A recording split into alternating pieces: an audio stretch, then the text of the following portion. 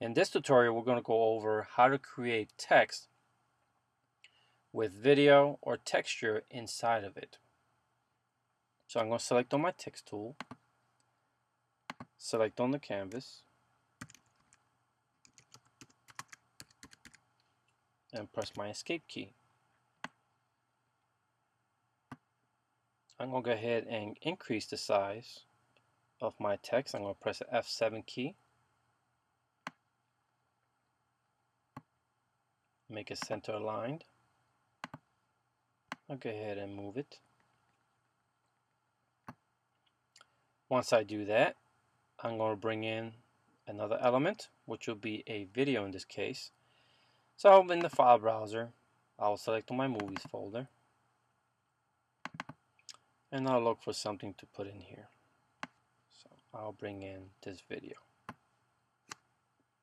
Now in the event that I cannot see the video because the video is much larger than my canvas, I'll select the shift and option key and if I have my handles visible, I will go ahead and constrain that to the center and resize it.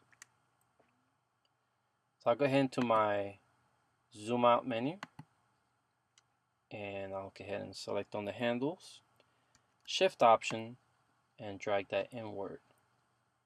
And again it constrains to the center. Press shift Z to get back to full view or it will fit to the window I should say. I'll go ahead and select the F5 key to show the layers. And there I can select either the landscape or the testing 123 text, whichever one I wish. So I'm going to select the landscape for now. I'm going to select F4 to bring up the properties for my video. I'll go to the properties tab and then I'll go to where it says blend mode. So you'll see transform and blending. Select on blend mode and there you have many options to blend your footage with your title. And you will see the different results coming from that. I'll go towards the bottom with Stencil Alpha. So let's see what we find here. Stencil Luma. Now if you were to look here, you will see the video is behind or inside of my text. But it's in black and white. So we're going to head and switch these around. By that I mean I'm going to put the test, the testing one, two, three text on top of the landscape. So let me put this blend mode back to normal and take this layer and drag it underneath. Alright, now I'm going to select on the text go to blend mode and now go to stencil luma and now I will see the video in full color inside of my text so if I were to select on the spacebar you'll see the video is playing inside of my text Now you can in fact move this video inside the text. Simply select on the layer and then you'll see that it does in fact move around. So if you feel that this will be a better position, then now if I were to press play, you'll see it plays there.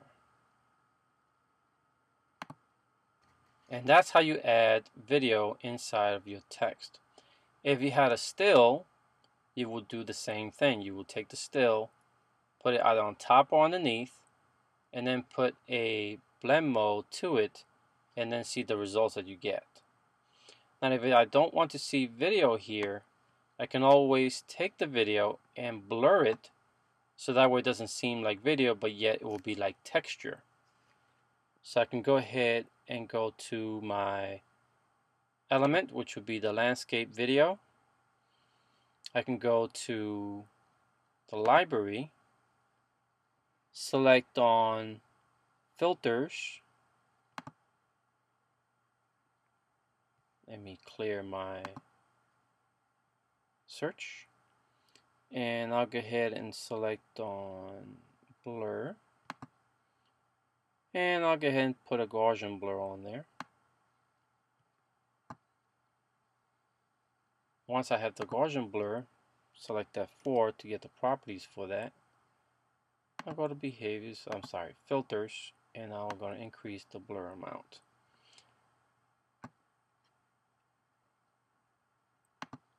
and now if I were to play this again there is a background but you cannot make out much of it because I've blurred a lot of it. So it will just seem like it's just some kind of texture.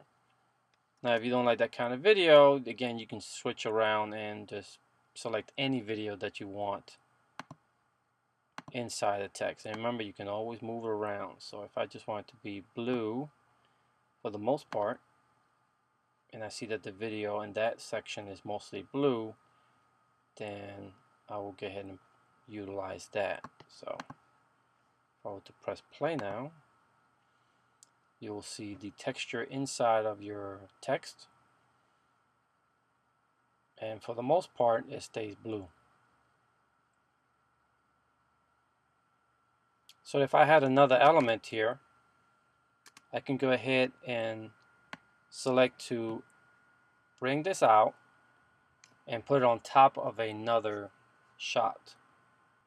This is Luis here for Chesapeake Systems. Thank you for watching.